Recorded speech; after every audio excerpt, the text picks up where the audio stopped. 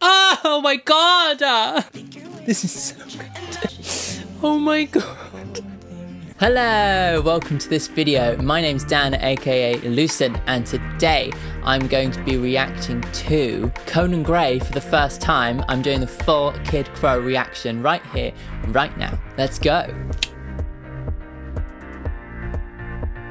As I do at the beginning of every new month, I put the question out who should I react to next with the hashtag new month, new artist. So it's like a new discovery for me. And this month, it was a very tight race but you guys voted for Conan Gray. Last month I reacted to Phoebe Bridgers for the first time, which was amazing. So if you haven't checked that one out, then I'll leave the link. But yeah, like Conan Gray, I literally don't know anything, don't know anything at all. He's been recommended to me like many, many times, like over like the past year, but I haven't kind of got around to listen to him. So he's kind of been in my backlog. Before we get started, make sure to react Make sure to subscribe to the channel and like this video if you like it too. Also, make sure to stay with me right till the end of the video for my song of the week recommendation once again. Yeah. And make sure to let me know what I should react to next as well. Right, okay, let's just do it. Let's get right into it. Song number one. This is Comfort Crowd. This hat that I'm holding is getting heavy.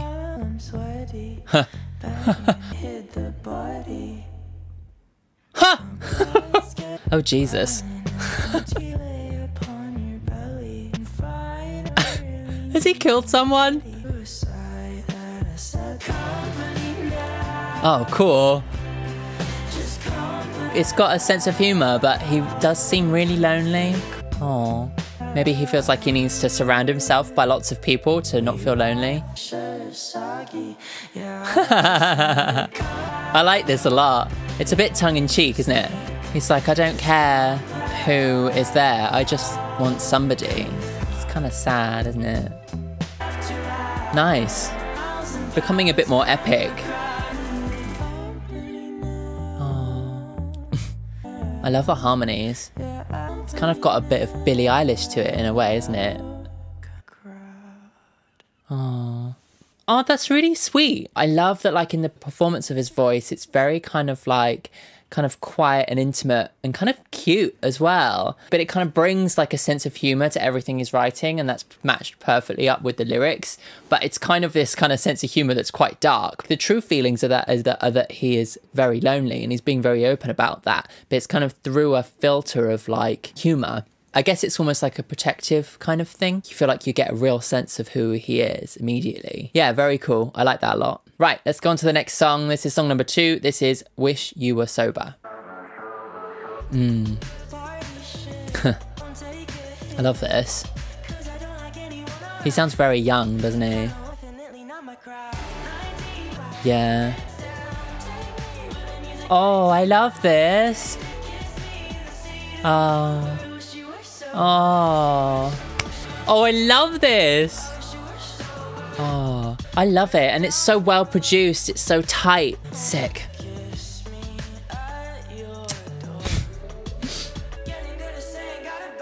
Oh. So this person he's with is like getting too drunk and, he, and it feels like Conan's having to make excuses for them, you know? I love this. Oh my god. Oh, it's like at moments Conan feels like he has this like perfect romance, you know, what he wants, but the drunkenness kind of ruins it, you know? Oh, I love that. Take me where the music ain't too loud, yeah. Oh, I loved that. I loved that.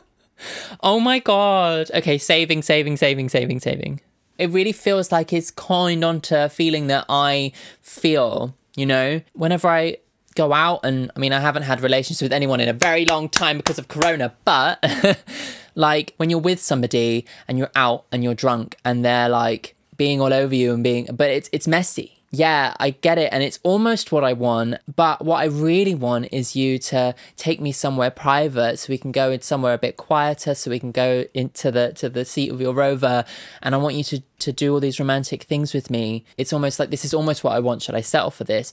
But actually, no, this isn't what I want. I wish I wish you were actually sober and that we had something real.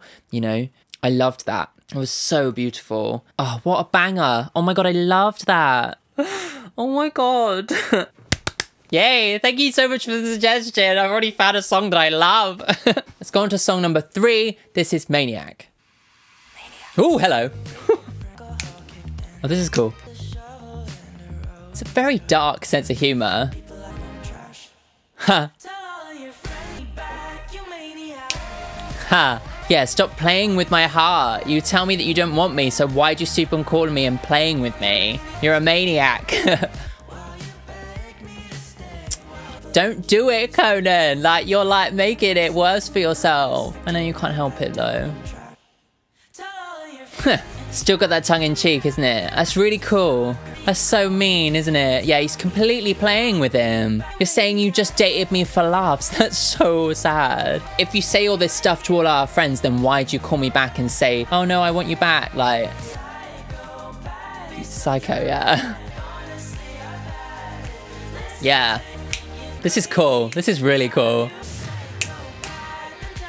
Yeah, this is sick. It's kind of 80s actually, isn't it? I love like the rhythm of the of the drums and the um and the bass kind of chugga chugga chugga chugga kind of thing. Cool. Yeah, that's really good, isn't it? Like it tells like such a good story. Like it like it really sums it up really well. You say that I'm a stalker, you say that I'm a psycho, but you're the one who keeps on turning it around and saying you want me back and playing with my head. You're the maniac. Yeah, makes me really feel for him, but also like his attitude is so much is very positive, isn't it? It almost feels like he's pepping himself up and trying to give himself that self confidence back. It's really well written, a good pop song, and it sounds unique and sounds different. Yeah, cool, love it. Let's go on to song number four. This is Online Love. I wonder what the brackets are for. Oh, it's an interlude. Oh. Oh. Oh. Huh? Oh, that's really cute. So it's just like a tiny little interlude there that like it kind of online love. I'm guessing he's met somebody over the internet and they're never actually really there. And it's kind of just a tiny little demo, almost like he's in a coffee shop, just kind of recording it to himself. And then it's like, yeah, okay, whatever, delete it. Such a unique little moment. Really interesting artist, this guy. It's really got something creative about him. Let's go on to song number five. This is Checkmate. Oh, oh, oh, oh. Yes! I love this.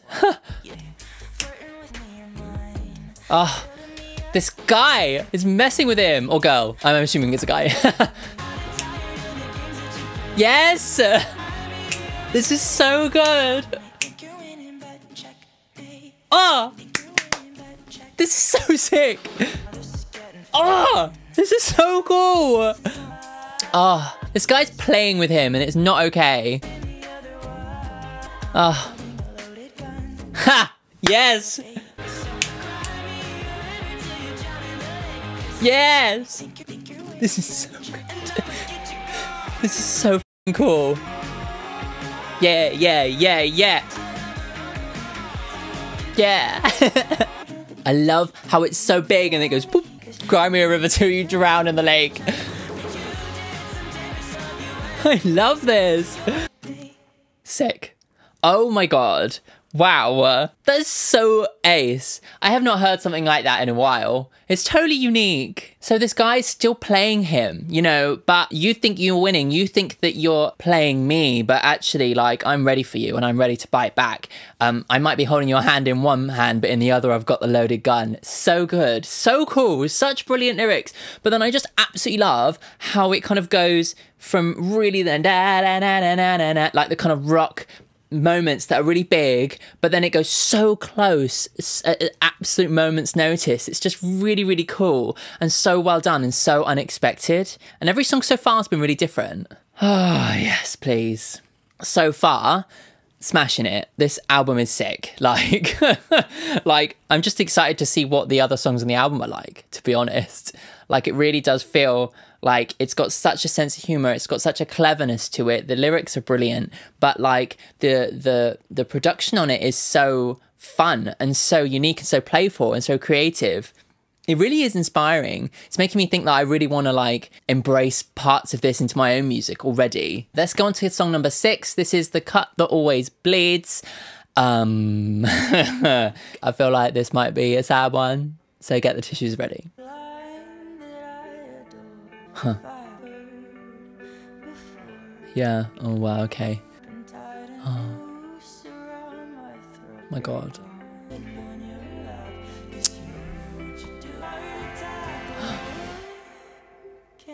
Oh my God. Oh.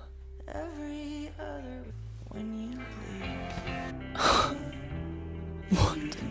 Oh my God. Ah. wow. this is gorgeous. I feel so bad for him. Just, he's completely manipulating him. Isn't that just so heartbreaking? and it's that big and small thing again. It's so wonderful. Those eyes are so stunning. Oh, he still needs him though. Wow.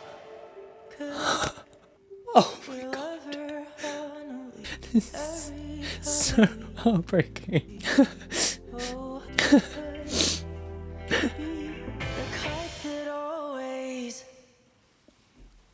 oh my god! Oh my god! Uh, oh my god stunning.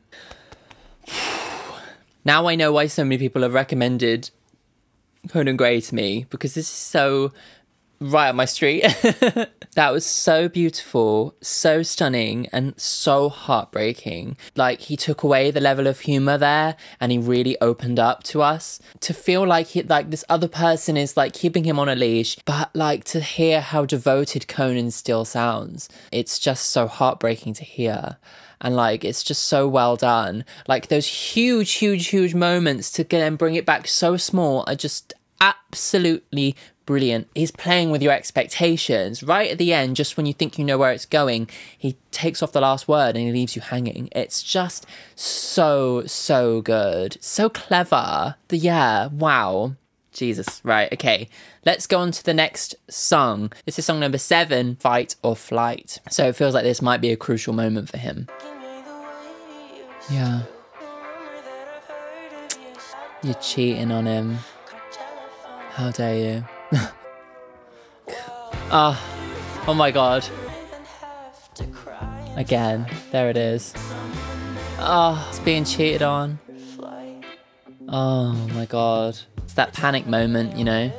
He can't cope with the fact that he still loves him. He doesn't know how to deal with that. I'd rather die than tell you I'm in love with you. Completely torn.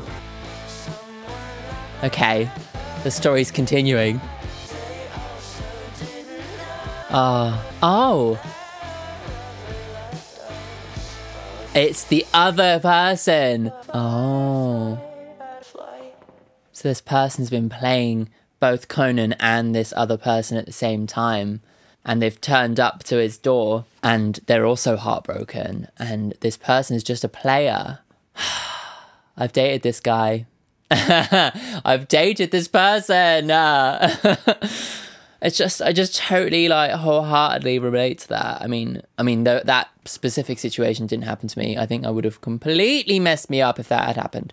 But like, I know what you're going through, mate, and it sucks. He really does done such a good job of like summing up like how that feels to be cheated on. It's almost like that feeling where you kind of you know something's going on in the back of your head, but you kind of deny it because you want it to happen and because you still feel like you love this person despite like even even what they did to you. Or do I just ditch him and run or do I fight for the love? I don't know. It's it's kind of that that idea that you're kind of stuck in between. Oh this is such a good album Let's go on to the next song. This is affluenza, affluent plus influenza. Maybe somebody who has a lot of sway, who is very affluent, but their power is almost like sickening. I've already figured it out, mate. Don't even need to listen to the song. Let's go. Whoa. Okay. Okay. Ooh, nice. Yeah, okay. Having money because of all these rich families, but their lives aren't real. That's really clever. Huh. It's really telling the story of like these rich kids who can't connect, you know? I think with money, life is just too easy. I love that. Back to the humor, I see. oh, he's so good at mixing his song up every minute. It's a little bit like Lorde in that sense. So cool. Interesting song. Very clever. It's a very knowing kind of assessment of this kind of rich kid lifestyle. I'm not sure whether he's saying if he wants it or not. Like from my perspective, it really it feels like these rich kids don't know what they're doing with their lives. They're given all this money and they're given all this kind of like affluence, they don't know how to connect to other people because they've never had to work for anything. So I've always said to people, you know, people are like, oh, I'd love to win the lottery and I'd love to win a million pounds. And I've always said, I wouldn't love to win a million pounds. Like, can you imagine? Like, A, so many people would suddenly want to be friends with you because you're rich. I want real friendships. I want depth of friendships. Two, did I say A or B? I don't know. You wouldn't have to work for anything. Like, I don't want a life where I just sit back and do nothing. How boring. Do you know what I mean? Like, yes, I would love a bit of money so I could, like, make my own recording studio. But, like, the reality is that I want to make my music successful. And that is a challenge. And that is gives me purpose. And i think that that is kind of what conan's getting at with these with these kids who are born into money. Just keep on watching these videos and uh, and maybe i can get some sponsorships and that'll be able to pay my rent. Okay let's go on to the next song. So this looks like it's another interlude type thing and this is can we be friends? Could you be my best friend let's hang out Aww. That's really sweet. uh. Oh my god.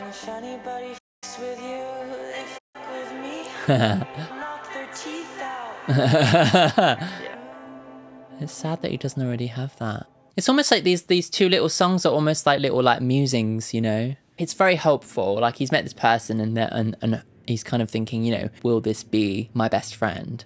You know, it sounds so young. I'm glad that I have those people in my life. Let's go on to the next song. This is song number 10. This is Heather. Oh. Oh, wait, I think this one was on the radio recently.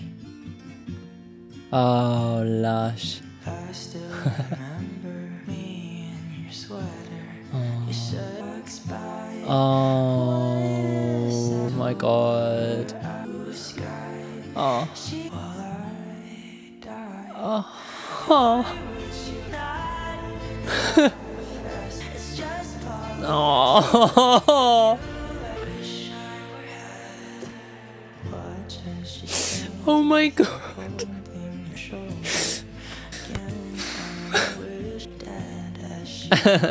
He's still got that humor. that he's just really sadistic. I just relate to this like so closely. Oh, that's that mo that is just polyester, like brings it right back, doesn't it? I wish, I wish I was her, you know? I'm paying a lot of attention to the gender pronouns here, and I feel like this might be a straight guy, you know?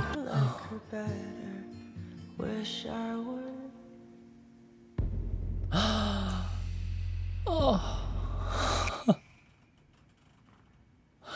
oh my god. Oh my god. How dare you?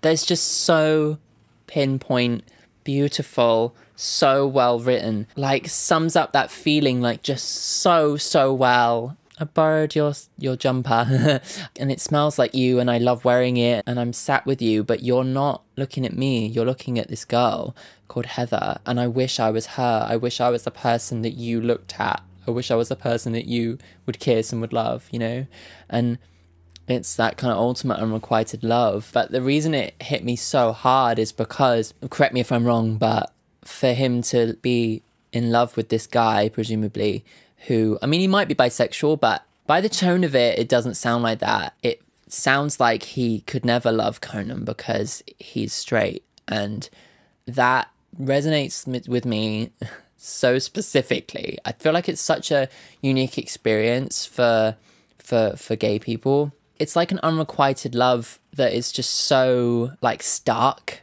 it really is just so heartbreaking to go through. It's something that like I feel like a lot of um straight people might not quite understand the nuances of it because like when like straight is standard, you don't like straight people can go around like like flirting with people and falling in love with people and you know it's a very like small chance that the people that that they're gonna fall in love with are gonna not be interested because of sexuality like statistically.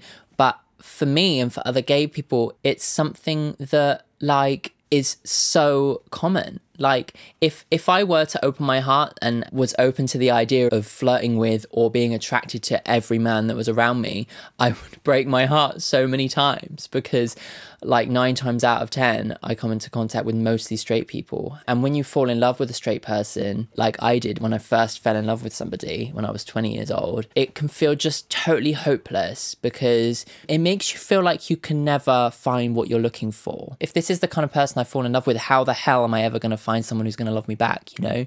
But it's just such a specific feeling. And I think that that is so unique to the LGBT experience. And I think Conan has really, really, really summed it up so beautifully. That was hard.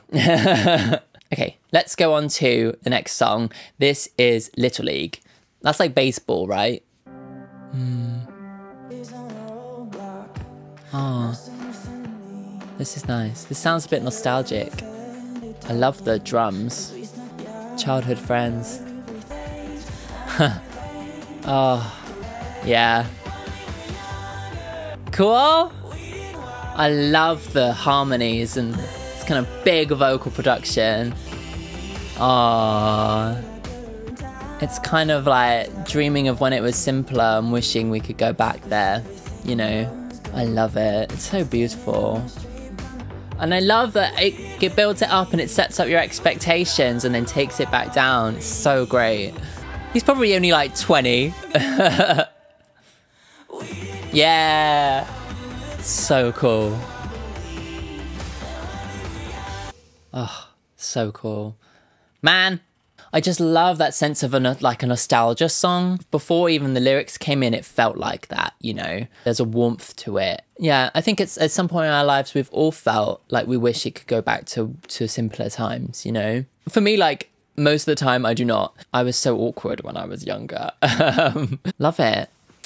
Ah, this is so good. Thank you so much for suggesting Conan Gray to me. Let's go on to the last song. This is song number 12. This is the story. It's quieter. About a boy and a girl, kind of boring. mm. oh. I knew a boy and a boy. Uh. Best friends with each other, always wish there were more. Oh.